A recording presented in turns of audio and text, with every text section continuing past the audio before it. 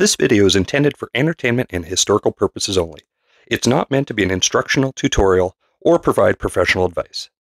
Today we're going to take delivery of a new piece of 2-foot gauge equipment.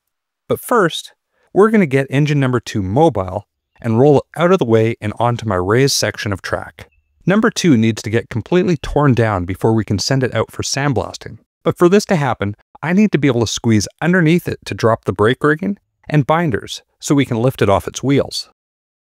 Where it's currently sitting, I can just squeeze under the firebox, but there's no chance of fitting under the axles. I have no idea how long it's been since the engine last rolled anywhere, so to avoid potentially damaging anything, we're going to drop the rods and the Stephenson link valve gear before moving it.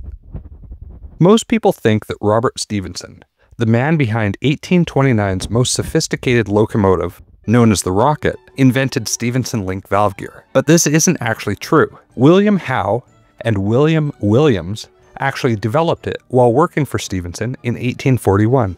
Although it looks complicated, Stephenson valve gear is incredibly simple once you understand how it works. In a nutshell, the valve gear is driven off four eccentrics which are mounted to the main axle. Each eccentric has a two-piece eccentric strap and eccentric blade, which transforms the rotary motion of the eccentric into a rocking motion at the link. The link is basically the steam locomotive's transmission. The link block rides inside the link, and its purpose is to transmit the rocking motion through the aptly named rocker arm to the valve rod, where it becomes linear motion, moving the valve back and forth via the valve stem. Here's what all this looks like in action. Each eccentric is in a slightly different position on the axle, and serves the singular purpose of operating its side of the engine either forward or reverse, albeit in one direction only. The left side rod is solid, having zero lost motion in any direction, whereas the right side rod has all sorts of slack. This can be caused by a multitude of things, from plain old worn out rod brasses on the right side, or overly tight brasses on the left, to something much more complicated, like the engine being out of tram. To be in tram means that all the wheels of the locomotive are square to each other, front and back, and side to side, and perfectly in line with the cylinders. If an engine is out of tram, you may encounter binding, like what we see with the left side rod. Operating, or even moving an engine that's out of tram, can cause excessive wear and should be avoided wherever possible.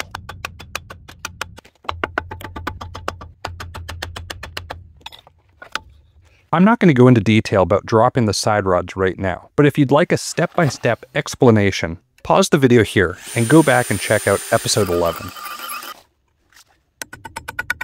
For everyone else who's done this with me before, did you notice the interesting difference between the two locomotives' rods? Specifically the bearing wedges.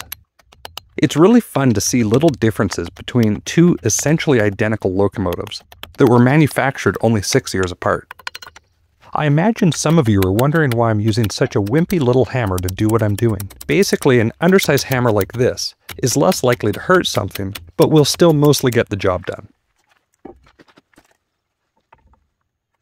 Whatever the little hammer can't do, the sledgehammer and a block of wood certainly can.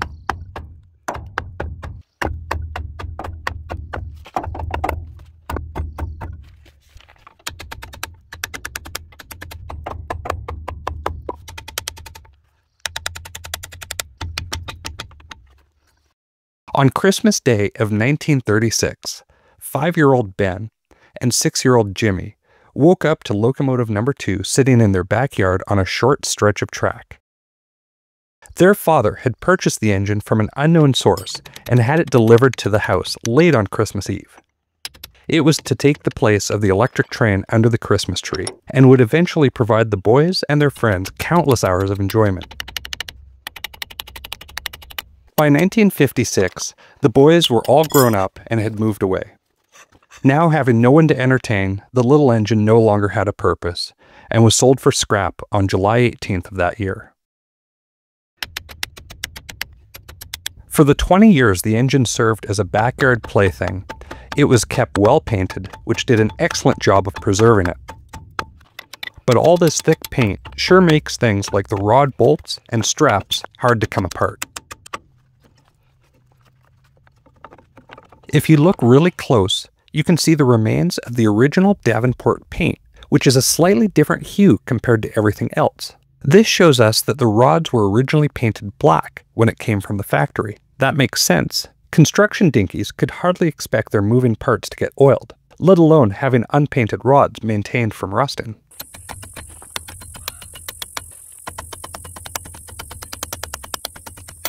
The sped up footage makes it look like I'm hitting things harder than I actually am. In reality, I'm just lightly tapping everything apart. All the individual pieces are laid out on the bench as they came apart. This time, they aren't getting reassembled until after they've been cleaned and all the old paint has been stripped away.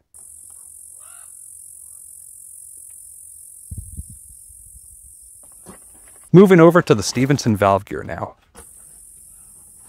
Here's the underside of the four eccentric straps, each with a hard-to-access double-nutted bolt. The eccentric blades are attached to the links with threaded pins and held tight with one nut each. The nuts should each have a cotter pin to keep them from coming loose, but as usual, some do and some don't. The pin head is completely round, so vice grips are used to hold it while the nuts are unscrewed.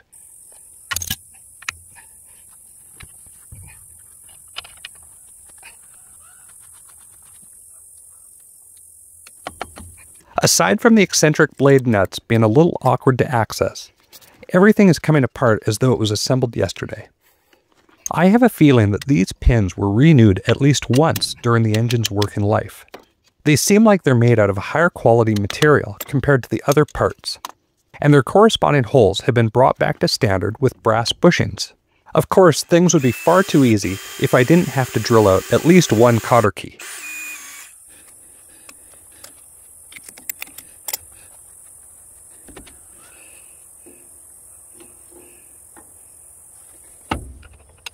If you look close, you can see the links are made out of four pieces, held together with two bolts. When you're hammer testing an engine like this, it's very important to always check these bolts for tightness.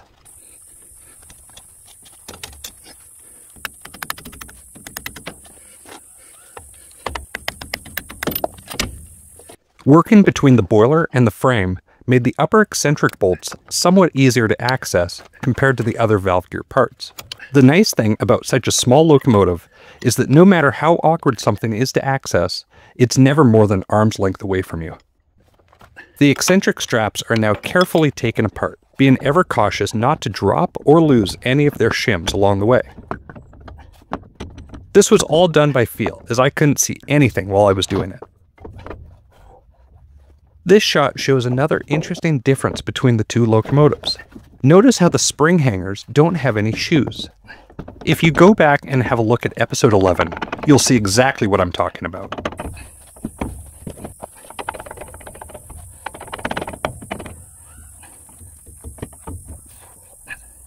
Something to keep in mind regarding Stephenson Link valve gear is whether or not the engine uses an open or crossed eccentric blade design.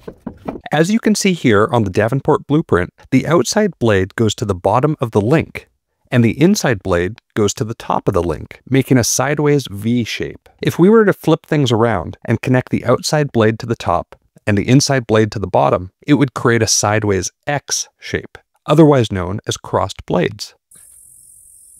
If we were to accidentally cross the blades during reassembly, it would cause the engine to back up when the Johnson bar was set for forward, and go forward when the Johnson bar was set for reverse.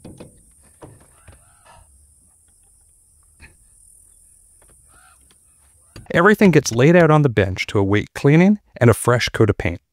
All the parts associated with the Stephenson valve gear seem to be in really good shape. None of the pins or brass bushings show any signs of being worn, and the eccentric straps were snug and free from lost motion. We now have a good opportunity to look at the eccentrics on engine number 2. Compare that with engine number 1's bare axle where the eccentric should be. Additionally, this is what's left of number 1's only remaining eccentric. Prior to acquiring number 2, this beat up chunk of cast iron was all I had to work from in designing the new split eccentrics for number 1. Of course, this one wasn't always split, Uh, that came later during the disassembly up at the mine. Now that the rods and valve gear are on the bench, it's time to move the engine ahead. I lubricated the crown brasses and axle journals off camera and then proceeded to give the engine a gentle tug with my pickup.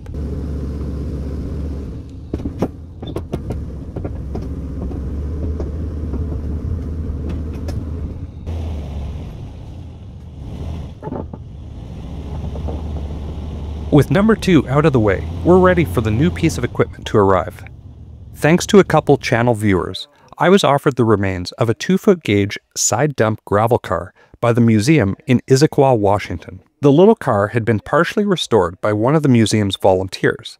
However, the restoration stopped due to uncertainty around the design of the dump box. I'll explain this in just a minute, but first let me give you a little context. On January 16, 1874, a 46-year-old Civil War veteran and inventor named Colonel Francis Peteler filed a patent application for a new and improved gravel car for use on light railways. This simple patent was the first of many for what became the Peteler Portable Railway Manufacturing Company. Peteler's main claim to fame was their patented side dump gravel car, which used a floating door design. This design used vertical arms to support the doors and keep them tight to the car body when not dumping. During the dumping process, the car body would tip at a 45 degree angle, totally independent of the doors. The vertical arms hold one door open while keeping the other door shut. This was accomplished by connecting the lower pivot arm which tipped with the car body, to the horizontal door arms by way of the vertical arms which acted as a fulcrum. Finally, the upper pivot arms were used to keep everything in line and rigid.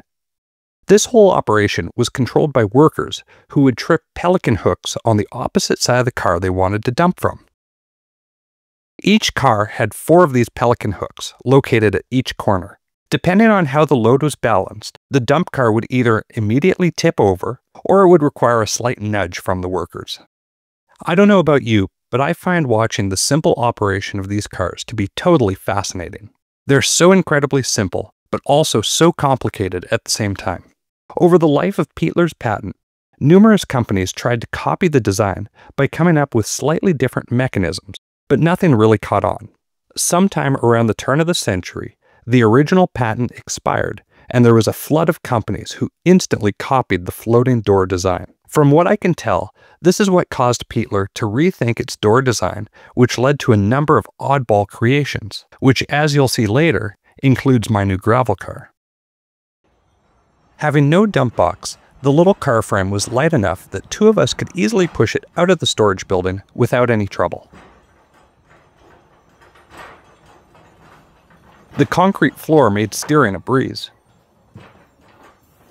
And within minutes, the car was on the street at a 90 degree angle to my trailer.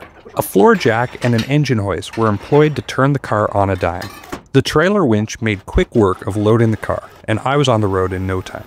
I want to give a huge thank you to the folks at the Issaquah Museum for kindly donating the gravel car and a few hundred pounds of spare gravel car parts to the project. If you're ever passing through Issaquah, consider paying them a visit. There's a link to their website in the video description in case you'd like to learn a little bit more about them and what they do. Immediately after unloading the car, I was like a kid with a brand new Tonka dump truck. I just had to give it a try.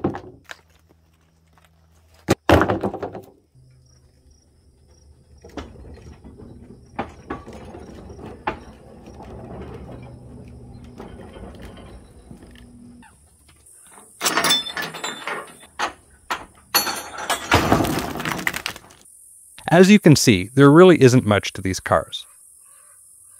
They're mostly made from angle iron with a wood center frame that the draft gear and center pivots bolt to. The wheels on this car are 14 inches in diameter and use plain journal bearings. And as it sits, the most complicated part of the car are the four pelican hooks. As I mentioned earlier, the museum also sent a pile of spare parts home with me including four center pivots, three and a half draw heads, eight door hinges, and many other parts yet to be identified.